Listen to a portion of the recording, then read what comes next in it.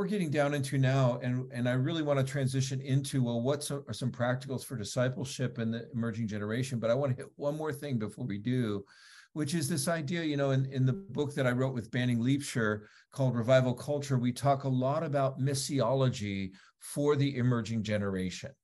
Okay.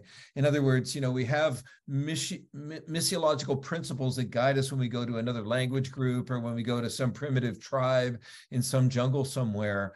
Um, but we need to take those same principles and kind of bring them over into post Christian America, you know, yeah. or let's say Europe or whatever. In other words, we need to see that the people we're trying to reach are a very different subculture than we are as Christians. Okay. So, one of the keys to missiology is understanding the kingdom longings of the people you're seeking to reach.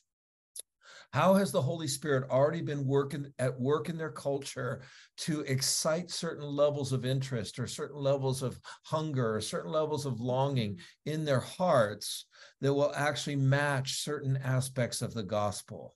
Okay. And so, can you go through maybe a few of those right now? What do you see? You know, we talked about the need for absolute truth, but that's a that's almost a non sequitur because they say they don't want it, but actually they need it, but they don't know that they need it. So it's kind of like saying eat your vegetables, you know, if we're right. if we're saying that, what are some of the key longings that you see, like community or or let's say um, affirmation or you know what what would be some of the things that you're seeing in the emerging culture mm-hmm. that yeah. would match uh, the kingdom uh, some uh, let's say assets that we can bring yeah first we we have to acknowledge that there is a uh, there are subcultures within an within an emerging culture right so so what i mean by that is very much what i'm seeing from those in the church in the emerging generations and those outside of the church in the emerging generation the longing is the same but it presents itself in somewhat different ways right mm-hmm. um yeah. so does that make sense yeah. because i can i can tell you all day about the 20 year olds i know in the church and i will tell you they will work 10 times harder than most generations i've seen just being honest uh, they they want to serve they are they will go and we always say bring in the young people they have the energy they will stack chairs till one or two in the morning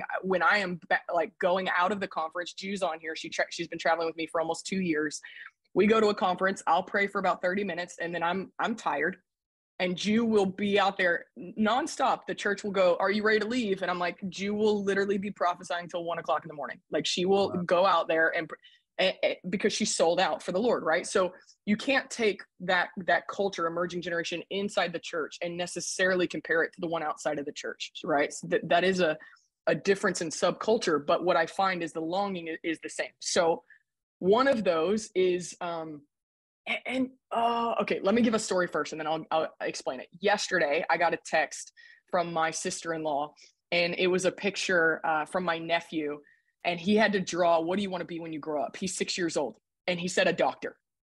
Now that's real normal right? But statistically right now by the time he's 10 years old that will not be what he wants to be anymore. Do you know what it'll be? Youtuber mm-hmm. influencer that's right. Tiktok star right? Statistically by the time he is 10 years old now he no longer will want to be a doctor or a teacher or a lawyer, which is what we all wanted to be when we were kids, right? He's going to want to be an influencer of some sort. That that is a cultural value across the board in the church and out of the church. And I would say it, it can be very dangerous when it's being perverted by the enemy in the way that it is right now. And and so when I look at kids like you that are 19, 20, and 21, and they're going, I want to be a leader in the church I'm like, let's define leader. It's not having a million followers on TikTok or being the next Mike Todd and having, you know, 3 million people logging. That's not, that's not what we're aspiring to be, right? Because Jesus said that the greatest is the servant of all. So we have, we have, even inside the church, we have confused what real influence is. We've confused what real success is.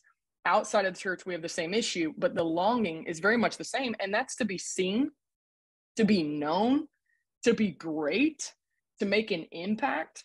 Um, how many of you guys, uh, Mike Bickle wrote a book called The Seven Longings of the Human Heart, came out in the early 2000s. Incredible book. Let me ask you the question Have those longings changed? Wow. No. So here's the discrepancy that we're struggling with. I talk to leaders and they're like, "Oh man, celebrity culture. Everybody just wants to be famous now." That's all. No, no, no. We just made it really easy for people to get famous. The longing was still there. When I was a kid, before I knew Jesus, all I wanted to be was a professional basketball player, and I would dream of everybody knowing my name. And I'm going to play the WNBA had come out, right? I'm going to play in the WNBA, and I'm going to have a jersey with my name on the back. The longing was the same. Wow. I wanted to be seen. I wanted to be known. I wanted to make an impact. The vehicle has changed. Now I want to be famous on TikTok. I want to be famous on Instagram. I want to be famous. So so the vehicle has changed, but the longing has not changed. And as a church, we've got to learn to see that longing and go, actually, there is a godly longing in that. Bill wrote a book, Bill Johnson wrote a book called Born for Significance, and he really addresses some of that in a beautiful way. It's not killing the longing, it's appropriating it in the right location. I think God has put it inside of us all to want to make an impact because you were meant to. Holy Spirit's on the inside of you. It just isn't supposed to be corrupted by pride like we've allowed it to be it's not necessarily supposed to look like the the identity that we've put on it and so to me and i'm going to be a repetitive uh at nauseum about this topic i think discipleship cures most of the ails we're dealing with in the church. I really do. Because yeah. i can sit down with these kids and when i notice something in them that that is hey that's actually a real godly longing i see inside of you i just see it manifesting in a pretty negative way. Let's redirect that thing oh, right?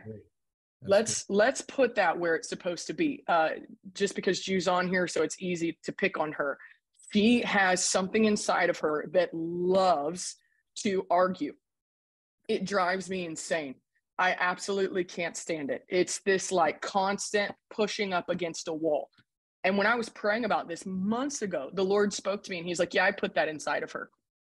I'm like, No way. There's no, there is no way that that's from you. He's like, She's going to make a really good leader one day when she learns where to stand up and who to stand up to.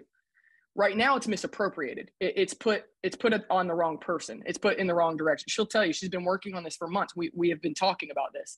it, it is a beautiful God given thing inside of her to lead and she will lead with strength. She will lead in confidence. She will know how to stand up when culture tells her lies, but she's got to learn where to appropriate that thing, right? It's not at me. Do you hear me? It's not at me, right? There, there is an appropriate place to put that. And so discipleship allows me to see that thing and go, oh, I see the God, I see the God thread in that.